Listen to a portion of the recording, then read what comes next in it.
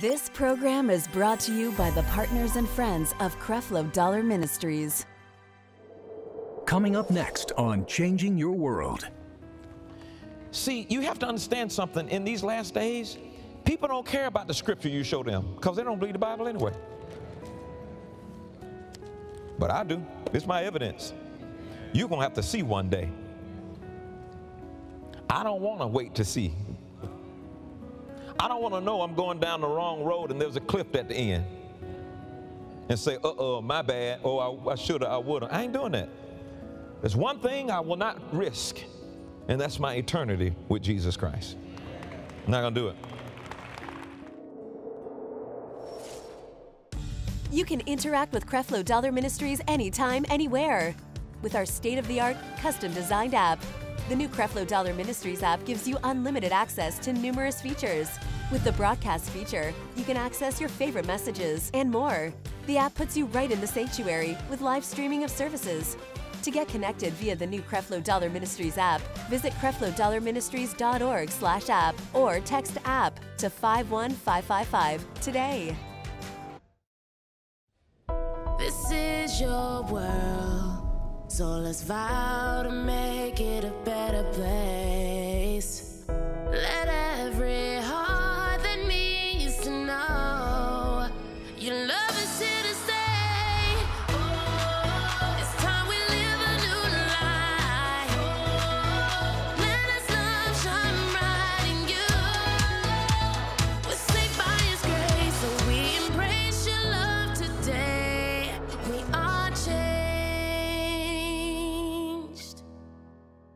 You have your Bibles, go with me to the book of 2 Timothy, chapter 3, in the NLT. I'm going to read all these in the, uh, most of them in NLT, first three at least.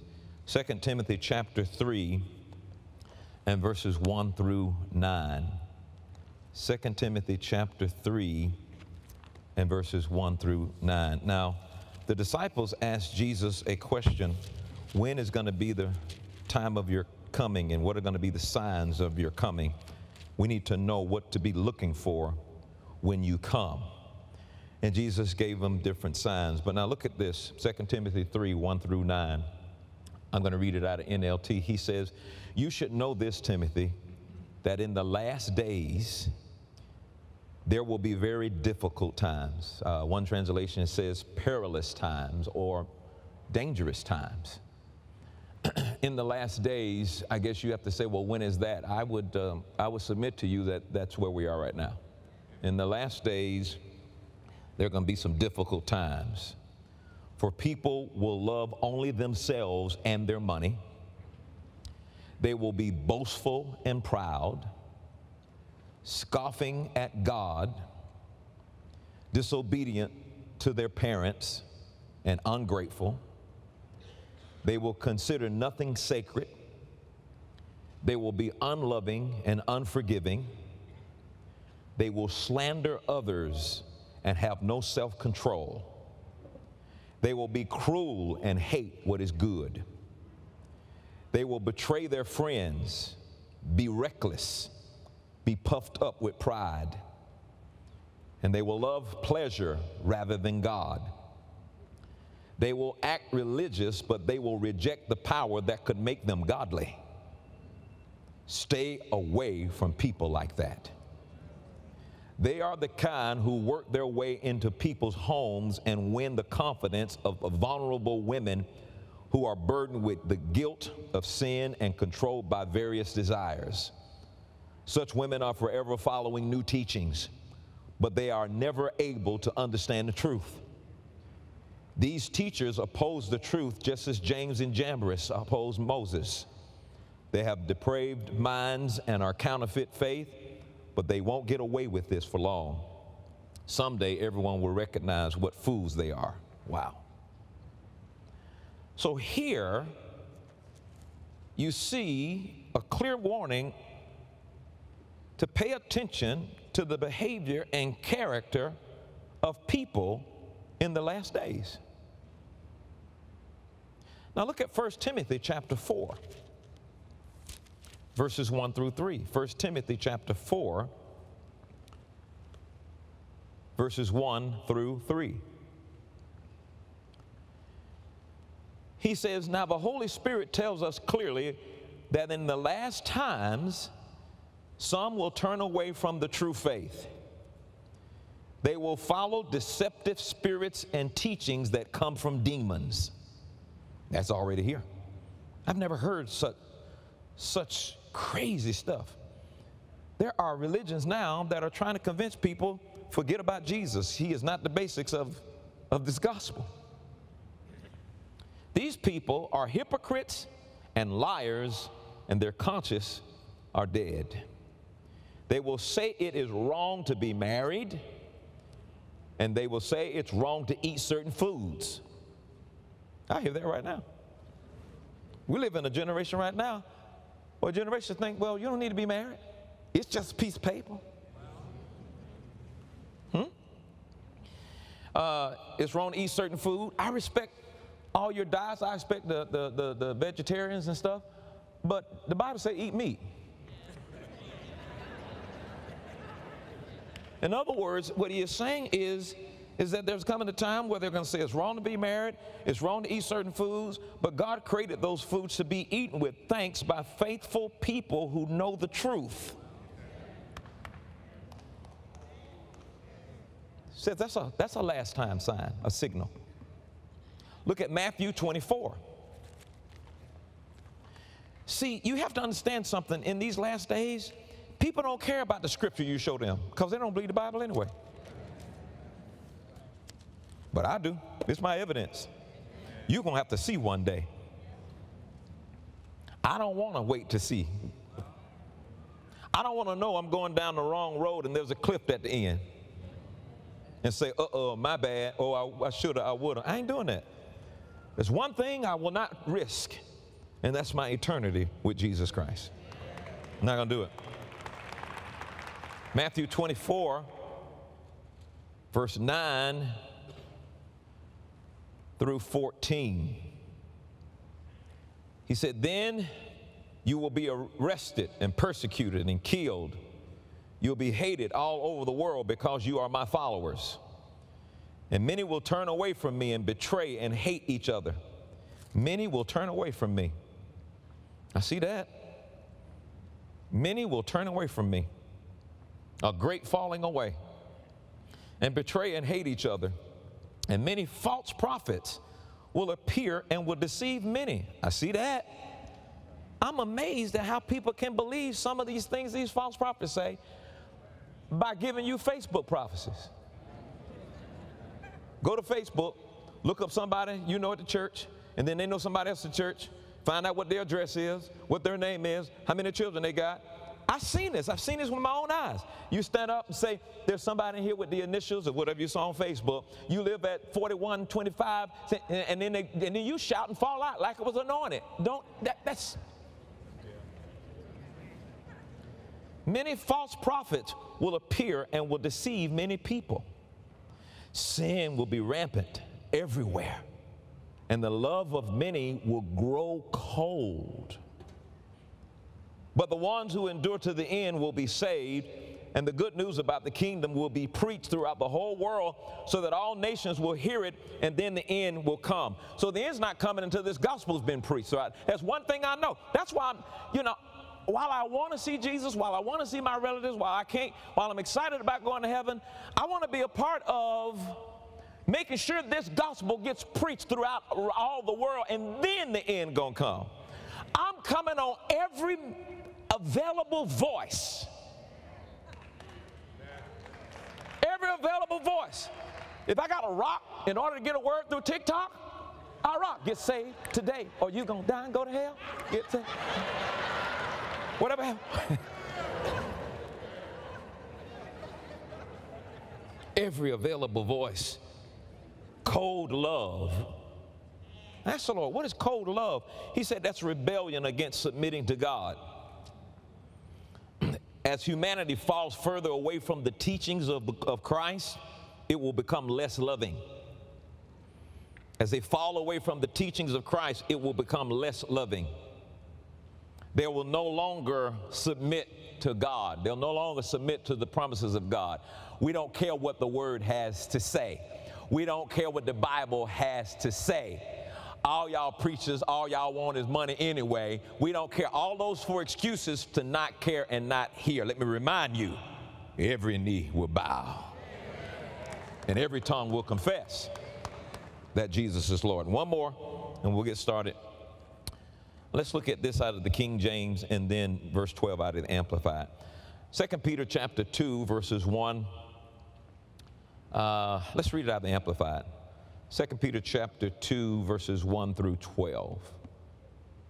This is, uh, this is pretty interesting here. 2 Peter chapter 2, verses 1 through 1 through 12.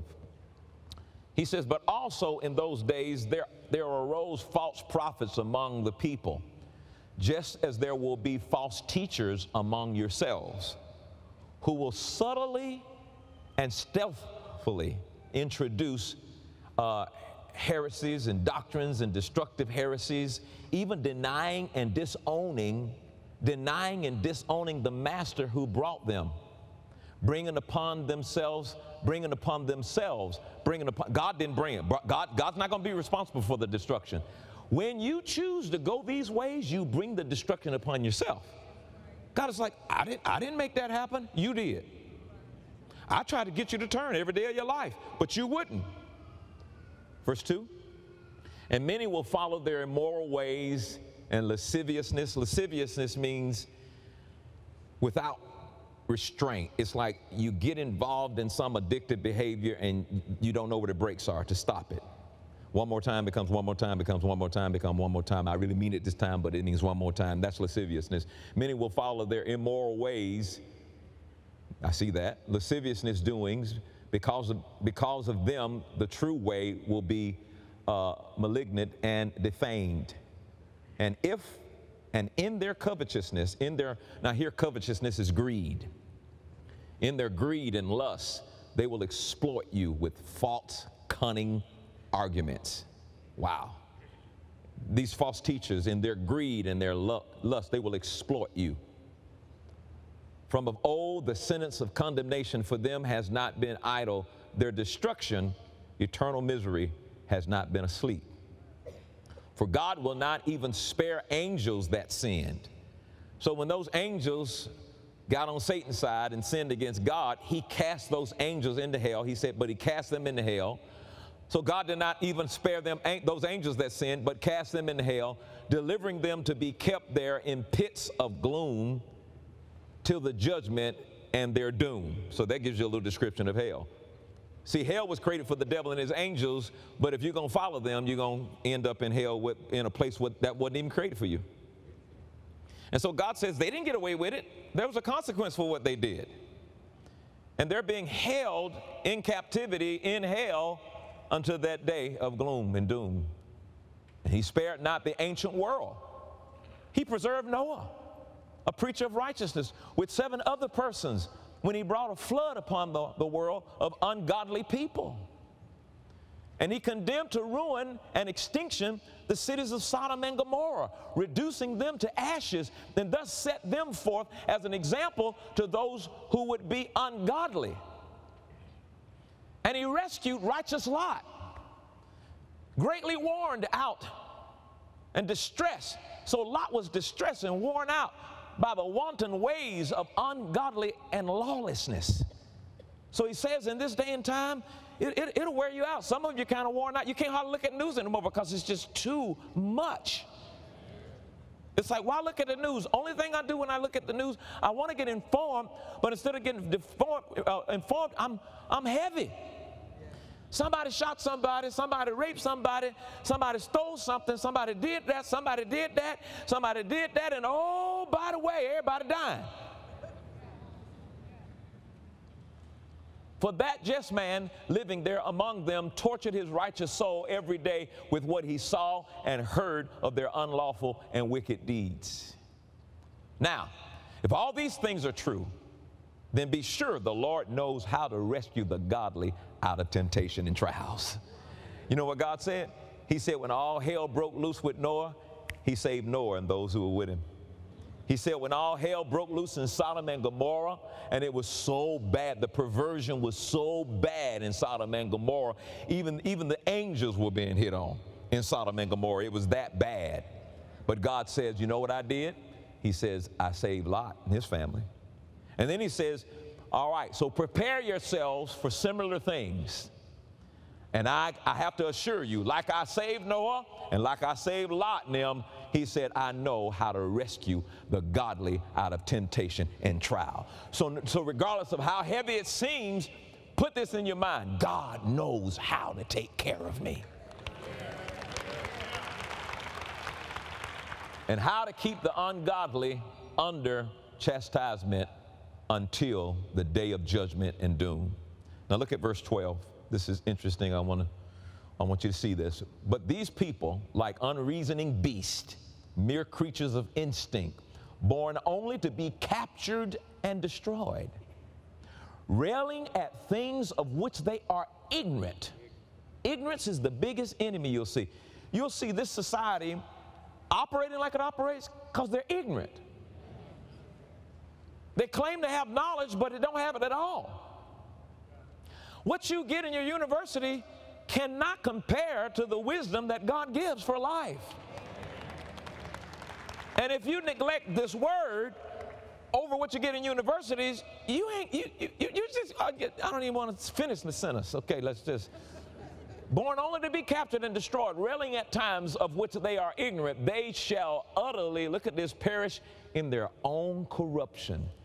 In their destroying, they shall surely be destroyed. So God says, I'm not the one that's going, uh, uh, uh, I'm not the one that's causing the things that's going to happen to you. He says, every choice they make, there's a consequence. And they, through their own corruption, their own corruption, it's hard headed people who who through their own corruption somehow you're not in the word you had you don't study the word there's no commitment to the word and, and somehow you've been deceived into thinking i know better and you can't even figure your own life out. And yet you know better. And you don't listen to nobody. And you don't want to hear what nobody got to say. Because you heard what such and so said on Facebook. And you heard what such and so said on Instagram. And you heard what such and so said. And such and so, such and so said this. And and and, and most people believe that. And and, and and and and and America believes this. And that people believe that. No, no, no, no. You're deceived in thinking you have knowledge. And you're about to be destroyed because of what you don't know. And you're not listening to the wisdom that could save you. We all are going to die one day. Can you really afford to be wrong when it comes to heaven or hell? I, I ain't playing that game. I am not going to be tutored by a fool.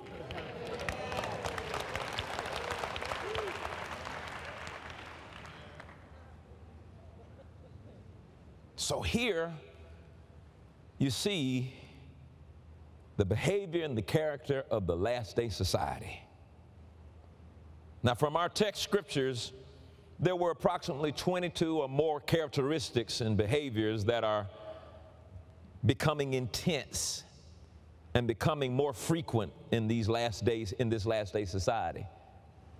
Look at Mark 13 and 8 in the Amplified. I want to remind you of something. Mark 13 and 8. It's not, well, you've always seen that kind of stuff happen. He says, pay attention to the frequency and the intensity. He says, you know I'm coming based on how intense something get. Yeah, that thing has always happened, but not to this, degree of intensity. He says, For nations will rise against nations, kingdoms against kingdoms. There will be earthquakes in various places. There will be famine and calamities. This is but the beginning of intolerable anguish and suffering, only the first of the birth pangs. So Jesus took the birth pangs of a woman having a baby, and he answered the question, When will that time be when you will come again? And he says it's going to be just like a woman who is, who's preparing to give birth. Pay attention to the contractions, pay attention, attention to the intensity and the frequency. And like a baby, who's about to come and a mother that's about to give birth, when it gets really intense And when the frequency is, is, is, is really intense, get ready, the baby's about to be born. We've never seen the type of intensity we've seen here now. China had a flood that they hadn't seen in a thousand years. We've never seen the intensity that we are seeing right now. I think for a moment that God's allowing these, these, these, these, these contractions to go this way for, for people who are not born again to at least say, well, maybe I need to pay attention because Jesus said this 2,000 years ago, and here it is happening right now with intensity and frequency. Now, I'm not talking, yeah, they've had earthquakes, you know, 100 years ago, but not like this. Yeah, they had fires a long time ago, but not like this, where 18 states now are being affected by fires and floods and weather and hurricanes and everything the Bible talks about with intensity. And now the people, over a thousand fights on airplanes. Yeah, we used to have disagreements on airplanes, but ain't, ain't, nobody punching nobody. I mean, most we would do is your mama. ain't nobody punching nobody. They're punching people. They're killing folks.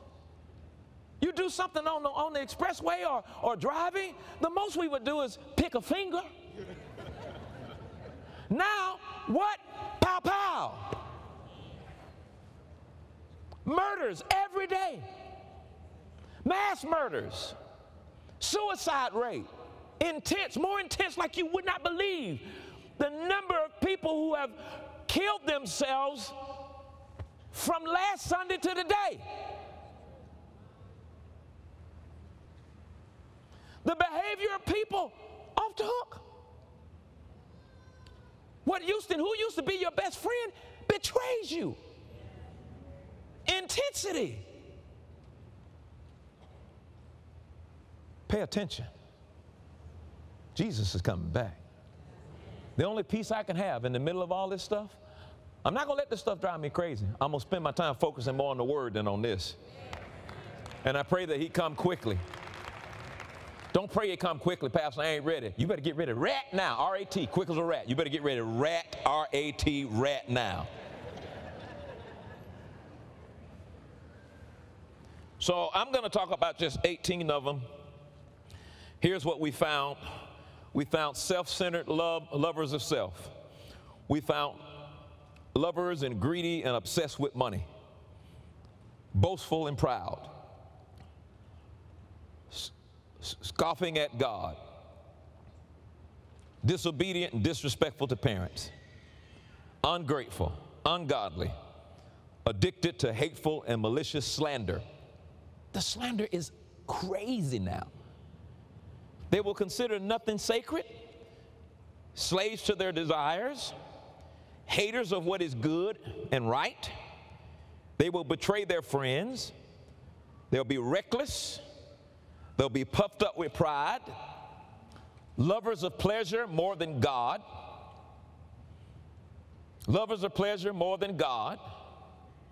You know, in other words, you prefer going to the club, having sex with anybody, getting high, getting drunk, and God ain't even in, God's not even on your radar anymore. You were raised in the church, and God's not even on your radar anymore.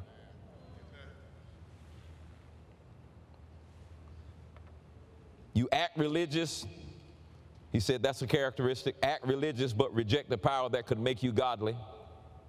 Bigoted and conceited.